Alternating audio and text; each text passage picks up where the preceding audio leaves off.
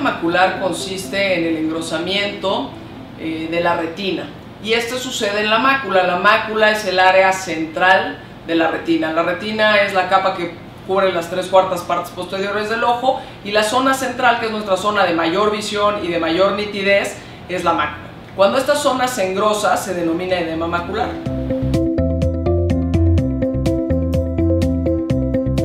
Las causas del edema macular son la diabetes, la degeneración macular relacionada con la edad en su parte húmeda, eh, las oclusiones de vena central o de rama de retina, las causas inflamatorias, las causas traumáticas, puede ser después de algún procedimiento o cirugía y mucho menos frecuente tumoraciones.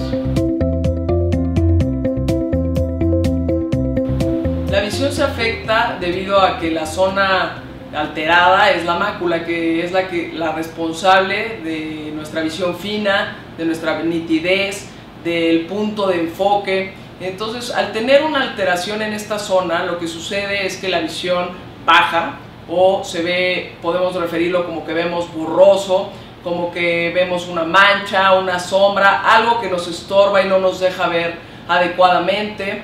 El paciente puede decir que ve las cosas chuecas o que las ve distorsionadas, que siente como que no mide las distancias o algunas, algunas actitudes o acciones que generalmente hacía con regularidad sin ningún problema y también se pueden afectar la, la visión a los colores.